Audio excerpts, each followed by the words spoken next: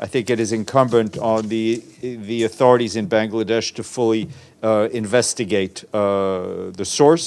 বিএনপির ডাকা হরতাল কর্মসূচি চলাকালে ট্রেনে অগ্নিসহিংসতায় শিশুসহ চারজন নিহতের ঘটনায় এভাবেই প্রতিক্রিয়া ব্যক্ত করলেন জাতিসংঘ মহাসচিব অ্যান্টনিও গুতেরেসের মুখপাত্র স্টিফেন ডুজারিক। আসছে সাত জানুয়ারি অনুষ্ঠেয় নির্বাচন বাংলাদেশের অভ্যন্তরীণ ব্যাপার। এ নির্বাচন নিয়ে মার্কিন যুক্তরাষ্ট্র ও জাতিসংঘের এত আগ্রহ কেন? প্রশ্নটি আপেক্ষিক হলেও বাস্তবতা হচ্ছে, মার্কিন ডিপার্টমেন্ট স্টেট ও জাতিসংঘের ব্রিফিংয়ে বাংলাদেশের নির্বাচন প্রসঙ্গটি এখন নিয়মিত ইস্যু হয়ে দাঁড়িয়েছে। এজন্য অবশ্য যুক্তরাষ্ট্র প্রবাসী বাংলাদেশি সাংবাদিকরাই এমন সুযোগ করে দিচ্ছেন। প্রায় প্রতিটি ব্রিফিংয়ে তাদের প্রশ্নের কারণেই জাতিসংঘ ও ইউএস ডিপার্টমেন্ট অব স্টেট জবাব বা মন্তব্য করে থাকে। বৃহস্পতিবারও এর ব্যতিক্রম হয়নি। নিউ ইয়র্কের জাতিসংঘ সদর দপ্তরের প্রেস সেন্টারে এদিন দস্তগীর জাহাঙ্গীর নামে যুক্তরাষ্ট্র প্রবাসী বাংলাদেশি এক সাংবাদিকের প্রশ্ন ছিল। I have a concern only about a wave of arson attacks on buses full of passengers. যাত্রীবাহী বাসে অগ্নিসংযোগের ঘটনাগুলোতে আমরা উদ্বিগ্ন।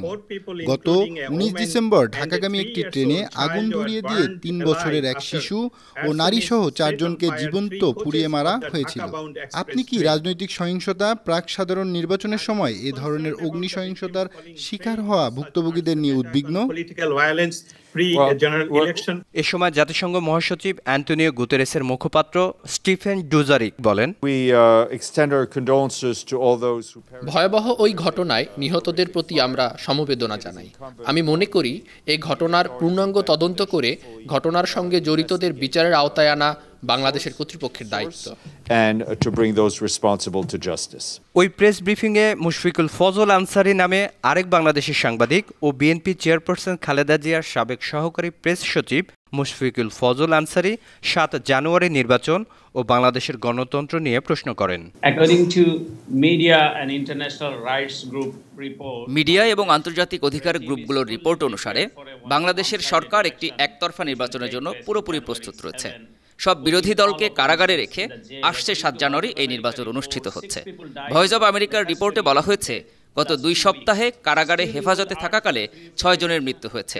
তারপরেও কি আপনি একটি অবাধ, সুষ্ঠু নির্বাচন, বিশ্বাসযোগ্য নির্বাচনের আহ্বান জানাবেন?